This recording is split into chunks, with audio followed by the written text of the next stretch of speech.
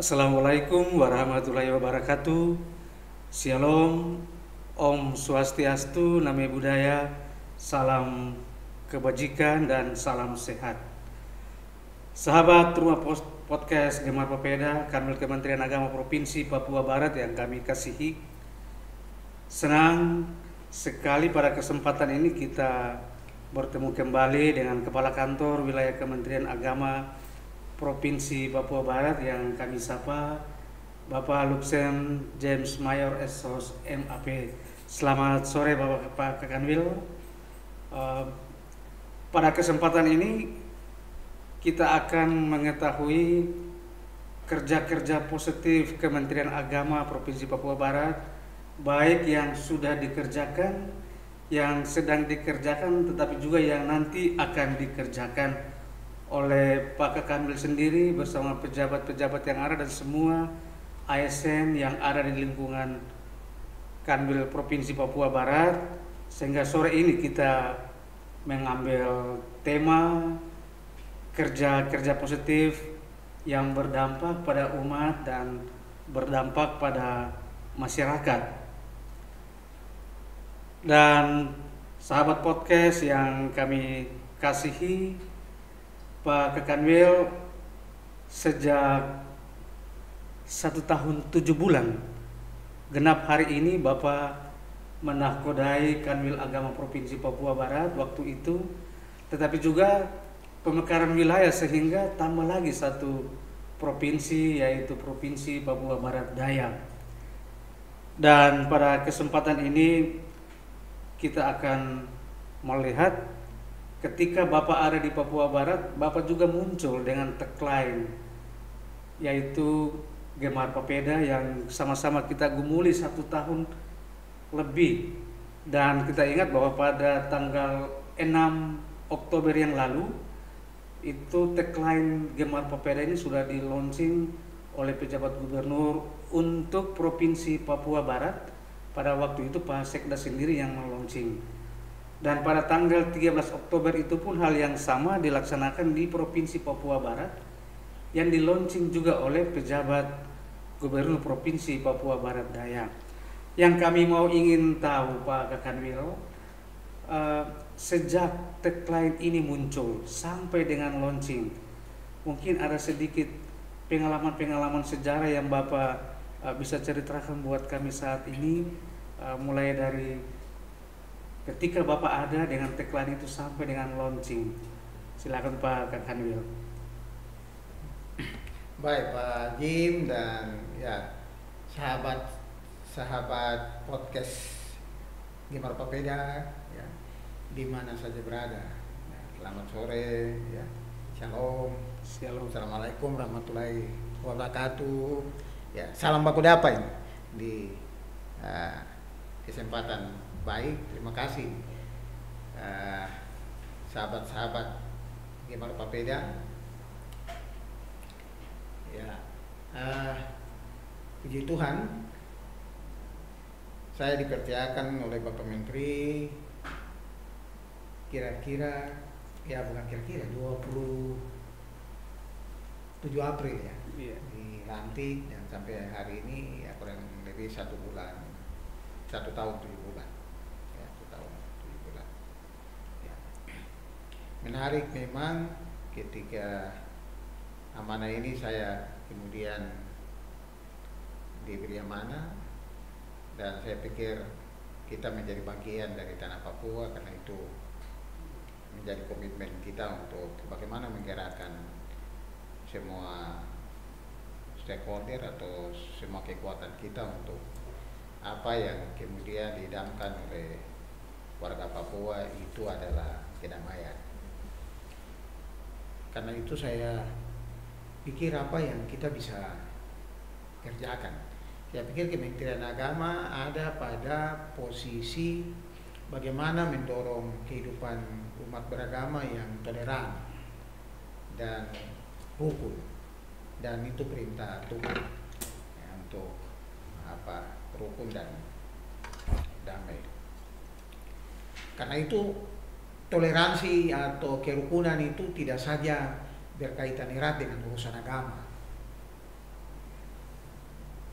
karena di berurusan dengan urusan banyak hal. Karenanya salah satu yang mendorong kita dan saya pikir menjadi kekuatan kita untuk membangun Papua itu adalah agama menjadi penggerak pembangunan. Karena agama menjadi penggerak pembangunan, agama ini harus menjadi penggerak pembangunan, maka dia menjadi kekuatan dan roh untuk menggerakkan semua lini.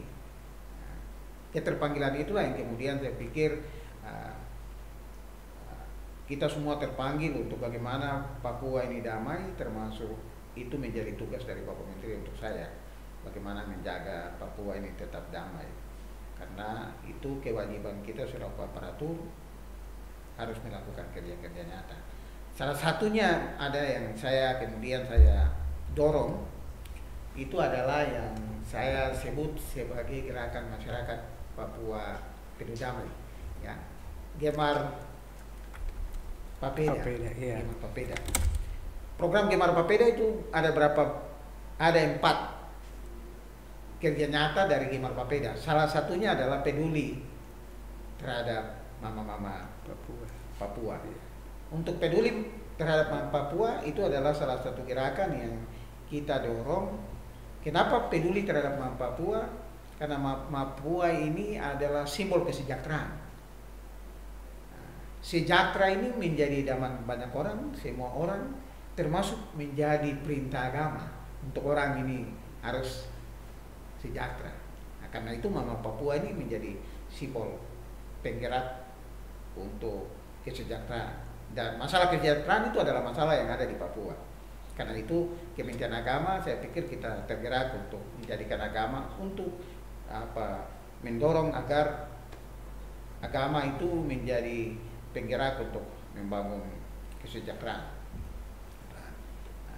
Karena itu berapa waktu kita melonsing atau kita mendorong apa yang disebut dengan Gemar Papeda yaitu dengan istilah ya kalau oleh banyak program ada disebut dengan bangga beli, bangga bangga produk lokal semuanya. Tetapi dalam pendekatan lokal saya sebut kotop ya, kotop kalau kau beli produk lokal mana Papua. Karena itu gerakan ini menjadi gerakan ANSI yang dilakukan oleh seluruh aparatur sipil negara di Kementerian Agama untuk bagaimana setiap bulan memastikan untuk membelajarkan hasil produk dari Mama Papua. Barang-barang lokal sayur, kasbi, keladi, kerajinan yang harus dilakukan oleh kenapa harus aparatur? Karena memang aparatur itu diberi kuasa sebenarnya. Tuhan memberi kuasa kepada aparatur. Ada uang, ada kuasa, ada apa. Jadi ini tidak boleh dibiarkan karena itu seluruh aparatur sipil negara oleh Kemenak, ayo berkat Tuhan yang ada itu kita juga lihat mau Papua. Ini bagian dari apa yang kemudian oleh program Kementerian Agama dalam program itu yang kita sebut dengan program moderasi. Jadi moderasi ini dia tidak saja dalam tatanan agama, tetapi dia harus ada pada tatanan kehidupan masyarakat dan ini yang kita sebut dengan perjumpaan terhadap program perjumpaan terhadap masyarakat masyarakat lokal ini adalah satu perjumpaan. Nah, perjumpaan ini yang kita lakukan dan kita kirakan supaya kita beli makanan lokal. Orang bertanya, banyak juga bilang ini pakan wilagama ini dia urus urus ekonomi. Ekonomi kah? Gitu ya orang sanksi juga. Saya juga pikir begitu. Tapi uh, saya pikir tidak. Kita bertanggung jawab bahwa ada program Kementerian Agama yang kita sebut dengan bagaimana uh, eh, pemberdayaan ekonomi ekonomi umat. Kita ada punya kampung zakat, kita ada punya banyak kampung yang mendorong ekonomi, ya pondok pesantren juga ada, ya. Dan salah satunya dalam menggerakkan ini kita menggunakan semangat yang kita sebut yang gerakan masyarakat Papua Perdamaian untuk mama-mama Papua. Tidak ada kemajuan di suatu bangsa, tidak ada kemajuan di suatu daerah ya kalau kita tidak mengikut sertakan orang lokal dalam perubahan ini ya. Yeah. karena itu kita harus gerakan ya saya bilang gerakan ini adalah gerakan penyadaran kolektif untuk seluruh PKW bahwa kalau Papua ini ingin damai harus mulai dari aparatur. Ini harus dimulai dari aparatur. Kenapa mulai dari aparatur? Karena aparatur punya kekuasaan. Dia punya uang. Harus mulai dari aparatur. Karena itu kita gerakan ini. Ayo kita semua pilih Mam Papua. Kita boleh boleh biarkan Mam Papua mereka tinggal apa berjualan dari pagi sampai malam. Kita harus pastikan bahwa berkat Tuhan itu kita sisihkan. Kenapa itu kita sisihkan? Kita harus pastikan bahwa pemilik negeri ini, pemilik tanah ini, pemilik kebun ini itu adalah Mama Papua. Eh, Pak Kanwil, ya. ini eh, cukup menarik. Eh, mungkin itu yang tadi Pak Kanwil bilang indikator kesejahteraan itu ada di mama-mama Papua ini. Ya. Itu mungkin untuk apalagi kita di Papua ini Pak ya. Bapak ya. Eh, itu yang menjadi indikator sehingga waktu saya lihat eh, spanduk-spanduk kita dalam apel launching itu adalah eh, spanduk harmoni, apel ya. apel harmoni. Nah, mungkin ya, statement Bapak memang mau Papua menjadi akar kesejahteraan itu. Itu sangat luar biasa sehingga yang kita belanja itu produk dari mama-mama itu. Kira-kira yang Bapak-bapak atau yang lain itu mungkin di nomor dua kan atau bagaimana Pak? Saya pikir tidak. Tidak juga Pak. Ya, kita tidak nomor dua kan yang lain ya. Kenapa mama-mama Papua? Mama Papua ini orang ya kalau kita bilang ini kantung, kita punya kantung ada di situ. Nah, penghargaan kita itu ada di situ. Karena itu uh, mama Papua ini menjadi ya, saya pikir dengan cara apa lagi ya dengan cara apa lagi ya kita semua saya pikir semua para pemirsa dan saya anak Papua dengan cara apa lagi kita menghargai mama Papua tidak ada cara lain.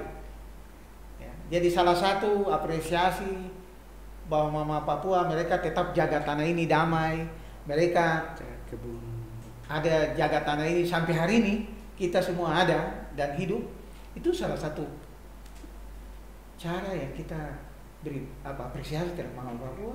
Caranya ya membeli mereka punya makanan. Makanan. Tidak ada lagi cara apa. Cara apa kita buat? Saya pikir kalau kita sadar betul, cara itulah yang kita harus lakukan. Rasa syukur kita itu kita lakukan melalui cara memilih. Tidak bisa menggunakan cara lain. Kita bagi bagi saya kita bisa menanam lahan besar. Buat lahan kebun di mana-mana dengan program berhektar-hektar. Tetapi kalau kita tidak bisa belajar mama Papua, kita tidak bisa membeli barang lokal mama Papua itu sesuatu yang mustahil. Ya, kita ajak Mam Papua, ayo tanam. Iya. Mereka bisa tanam. Saya pikir tanam itu menjadi bagian dari keterampilan mereka setiap hari. Kebun. Tapi bagaimana? Ada yang beli atau tidak? Lama-lama orang malas juga. Karena itu saya pikir. Jadi ya kita bagi tugas. Ada Kementerian Pertanian yang punya tugas suruh orang tanam, ada Kementerian, ada Bank Indonesia yang juga program Bangga Beli apa. Tapi jangan kita cuma ngomong-ngomong mulailah semua kita dorong. Nah, jadi bagi saya ini tidak boleh cerita-cerita. Karena itu Kementerian Agama saya ajak tidak boleh cerita. Maka kita tanggal 13 dan tanggal 6 itu kita launching. Kita ajak pemerintah daerah, SKPD dan bagi saya bersyukur sekali karena keterlibatan semua pihak, para pemerintah daerah, para tentara, TNI, Polri, ya pihak swasta datang sama-sama untuk kita turun ke pasar. Memang hanya sebatas, tetapi dengan ketukan atau dengan launching itu mau memberitahukan kepada semua orang bahwa ayo mari kita peduli untuk mama-mama Papua. Ya. Iya Pak Kakanwil, memang uh, sepertinya kalau kita berpikir ini kegiatan launching itu saja itu kerja-kerja yang cukup keras dan sebagai putra asli Papua, sebagai pejabat Papua, termasuk salah satu keberanian untuk masuk di dalam pasar itu yang kalau kita lihat pasar itu ada seribu satu macam pikiran-pikiran yang ada di dalam. Uh, dalam sosialisasi ini Pak Kekanwil, kira-kira ada tantangan atau ada hambatan yang ditemui dalam prosesnya? Ya, memang pasar ini kehidupan orang mempertaruhkan hidupnya itu di pasar. Saya juga baru tahu ketika waktu launching baru jalan-jalan di pasar. pertaruhan hidup dan mati itu di pasar itu. Kita belanja-belanja, mama-mama lain bilang, eh, saya punya ini belum laku nih Pak Kanwe. Ini ini ini. Saya berkesimpulan bahwa pertaruhan hidup di pasar itu itu luar biasa keras. Karena itu kita harus jawab. Ya. Orang lama-lama duduk jual tidak ada yang beli lama-lama dia bisa marah. Dan saya pikir itu yang kita hadapi itu. Waktu kita jalan itu. Survei awal ya. Kita survei awal itu menarik ya orang yang berjualan. Nah, bayangkan kita mereka datang mama-mama ini mereka datang dari tempat yang jauh kita bilang saja dari Pegaf charter apa Mobil Hilux. Hilux. Iya. dua juta kira-kira sampai di Manokwari apa yang mereka jual bayangkan kalau tidak ada yang beli ini yang saya pikir kegiatan Gemar Pepeda Kotop ya Kotop beli Mama Papua ini adalah su- suatu doa yang kita ngajak ayo kita pikir sama-sama kira-kira tuh bikin Mama Papua ini bagaimana? Kenapa? Karena memang sekarang kita tidak bisa lagi pungkiri. Kita keluar dari rumah di samping kita ada supermarket yang jual sayur. Di mana-mana ada ini fenomena biasa saja. Tetapi Mama Papua mereka belum sampai di situ. Apalagi yang online Pak ya. ya online. Jadi ini adalah salah satu gerakan yang kemudian kita bukan melawan kodrat tidak. Bahwa kita melawan bahwa ini kita melawan suatu perubahan. Sebenarnya bukan melawan suatu perubahan. Ya. kita sedang bagaimana mengantar mama-mama ini kepada suatu perubahan. Jadi ini adalah juga Gemar Papeda yang kita launching ini atau kita sedang uh, lakukan ini merupakan suatu suatu edukasi bagi mama mama Papua. Bagaimana mereka bisa hidup di pasar, mereka bagaimana bisa bertahan di pasar, bagaimana mereka setia di pasar, bagaimana dengan begitu mereka bisa bertanam terus di pasar. Perjuangan-perjuangan ini kita lakukan. Saya pikir kenapa ini penting. Kalau kita mau ingin jujur, kita semua juga hidup karena mama-mama mereka punya hasil jualan. Nah, Inilah cara menghargai orang tua kita. Salah satunya saya mendorong supaya kita semua, apalagi selaku teman-teman anak-anak Papua, saya juga mengajak, ayo kita dorong, ya, kita dorong, ya. Paling tidak dengan begitu, Mam Papua mereka bisa jaga dengan ada yang beli dengan sendirinya mereka bisa menjaga lahan mereka atau pekarangan mereka untuk mereka tanam sesuatu. Ini yang saya pikir apa eh, ini kita lakukan. Jadi kita memberi keyakinan optimisme. Ayo tanam ada yang beli. Kami beli mama orang tetap percaya bahwa oh karena ada orang yang beli saya harus tanam. Saya jaga saya punya lahan. Ini kalau ada orang yang beli saya harus jaga saya punya tanah. Saya tidak boleh jual tanah sebarang-sebarang tuh tidak boleh jual tanah. Karena tanah ini saya ada punya daun serai, saya ada punya kasbi. gitu. Tapi harus ada yang beli. Terus siapa yang mau beli? Ya kita. Siapa yang beli? Ya paling tidak dari pegawai. Aparatur ini harus buat terusan. Ya kita beli. Kenapa kita beli? Ada berkat Tuhan kasih. Nah ini. Jadi siklus hidup ini kita harus apa? Jadi sebenarnya bukan program yang untuk saya program yang terlalu tinggi-tinggi. Itu sebenarnya program hidup siklus hidup sehari-hari yang hendak kita eh, lembagakan ya kita atur ayo. Dan memang tantangannya luar biasa. Ajak orang gitu ya. saya juga terkejut ya eh, sobat-sobat podcast dan saya pikir saya juga terkejut ya. Ini kegiatan yang kemudian secara moral kita ajak orang saja. Iya. ayo kamu ada uang sedikit kan beli mama Papua. Orang pikir kalau orang pikir ngapain saya ikut-ikut ya ikut beli barang tapi ini pesannya adalah tanah ini kalau mau damai tanah ini kalau kita mau jaga Iya. sama-sama kita lihat mama-mama Papua ini Kita percaya, saya yakini bahwa Mam Papua ini kalau tong lihat do baik-baik, tong belanja barang, dong punya barang baik-baik. Sedikit yang kita belanja itu do berdoa. Tuhan jaga tanah ini supaya tetap damai. Ini yang saya yakini. Karena itu ya kita mulai bukan berarti mama-mama Makassar, Jawa. Ya. Jadi kegiatan-kegiatan bagian ini adalah merupakan revolusi mental yang didorong oleh Jokowi, gotong royong. Jadi bukan ini. Jadi ini kegiatan gotong royong. Ayo, mungkin saja bisa saja setiap hari kita sudah lakukan. Tetapi dalam program jangka panjang saya mau bilang begini, isu seperti ini harus dilembagakan, dilakukan secara bersama-sama, secara kolektif. Gitu. Pesannya adalah dengan gerakan masyarakat Papua penuh damai, kotop, belanja barang-barang, mama Papua ke depan itu adalah isu kolektivitas yang harus kita dorong. Ya. Kita dorong. Contoh, ya orang Ambon sekali-sekali paguyuban Ambon kumpul sama-sama, datang ke pasar, bikin bersih pasar, belanja. Jangan sibuk waktu mau pilkada saja baru kumpul-kumpul paguyuban. Orang Batak kumpul sendiri kumpul baru bikin paguyuban tidak. Kehadiran kita semua paguyuban apa saja seantero Indonesia yang hadir di tanah ini dia harus memberi kontribusi nyata. Dan kontribusi nyata itu harus dibuat dalam satu gerakan. Nah, ini yang nanti saya pikir ke depan kita akan dorong. Kita aja sama-sama. Jadi ayo teman-teman yang kelompok muslim ayo.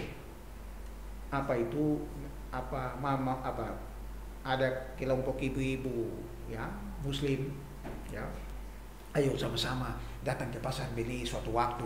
Ayo kelompok ini datang beli. Ayo kelompok Makassar datang beli. Batak beli. Ambon beli. Dalam paguyuban. Karena paguyuban kita di Papua Barat ini banyak sekali. Banyak. Nah, jangan pemilu baru kumpul. Yang begini-begini kumpul pergi ke pasar sama-sama. Kalau ini dilakukan untuk saya, saya yakini bahwa indah. Papua ini damai. Orang datang orang ketika mama Papua mereka duduk ini dari mana yang beli? Oh ini kami dari Paguyuban orang Ambon yang datang. Beli wah itu orang bilang ini kami hebat. Bilang kutop kanto okay. gitu kan. Ini yang harus dilakukan. Jadi semua kelompok ini ini siapa yang datang beli? Banyak-banyak orang ini. Ah ini dari Kementerian Agama. Ini dari SKPD ini dari TNI jadi walaupun kalau kita sudah lakukan setiap hari kita datang ke pasar secara pribadi tetapi isu-isu kolektivitas program yang dilakukan bersama-sama secara gotong royong ini kita harus lakukan.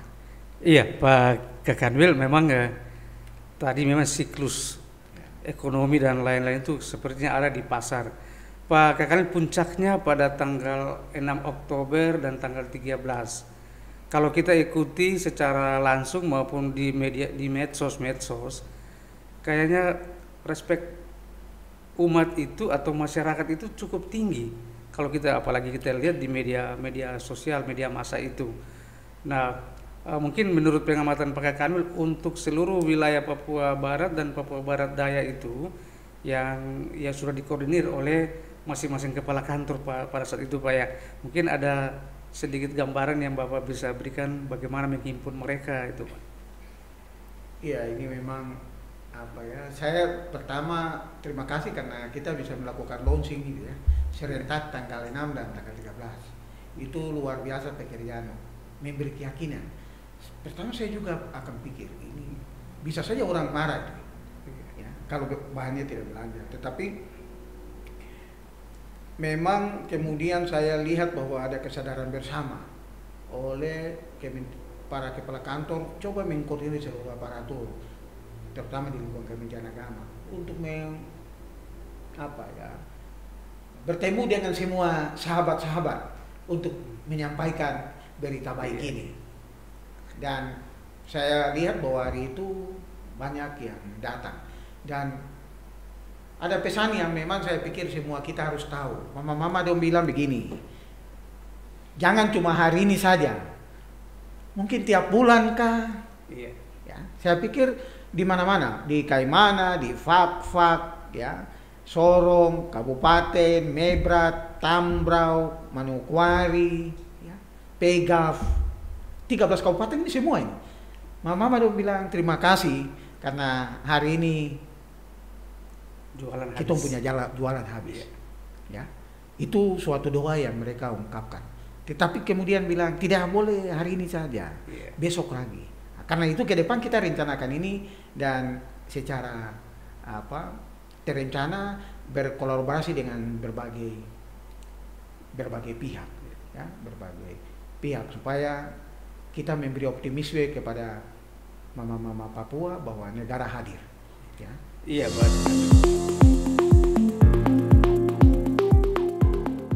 Satu mama Papua ketemu saya. Dia bilang, hari ini dia pegang 5 juta. Ya. 5 juta. Dia jalan cerita di kampung.